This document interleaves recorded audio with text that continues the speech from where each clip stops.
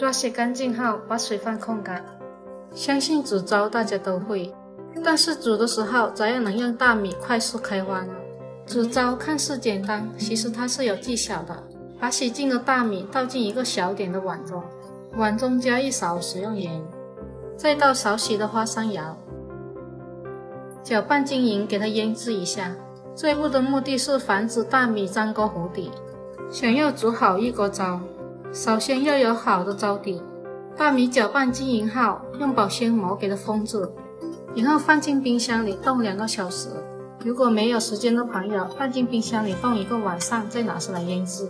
把米冻一下就能破坏大米里的籽汁，这样大米里面就会变成蜂窝状。这样煮的时候，大米就非常容易糊化开花。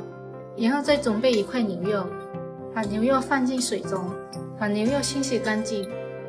清洗干净后，把它放在晒板上，把牛肉分成两块，然后把它切成薄片。家里有小朋友的朋友，建议大家常煲豆豆粥给孩子们吃。全部切好后，把它装进碗中备用。把姜切成片，再改刀把它切成丝。全部切好后，把牛肉装一起，再倒入少许的胡椒粉、少许的淀粉、少许的米酒，然后把它搅拌均匀，放着腌制十五分钟。准备适量的小葱，把它切成馅。香菜去掉头部，也把它切成段。全部切好后，装进盘中，放着备用。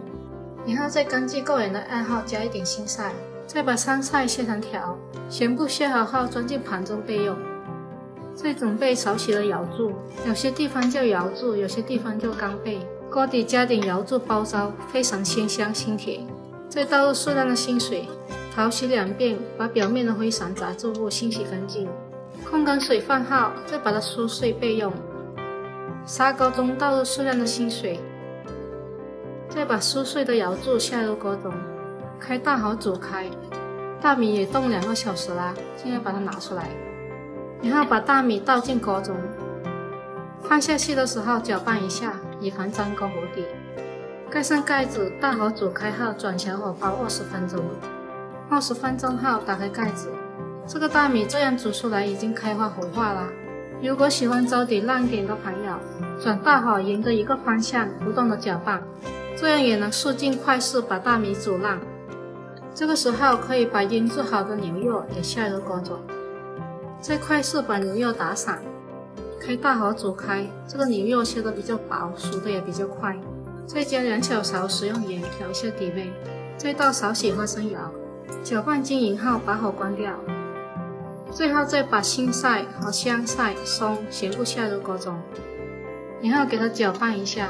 用锅中的鱼丸把它烫熟，这道三拱牛肉粥就做好了。这样做出来的牛肉粥非常的香，而且又好吃，主要是它的营养价值非常的高。这道粥可以当夜宵，也可以当早餐，每回煮一大锅都不够吃。再配上这个绝配的油条，就可以开吃啦。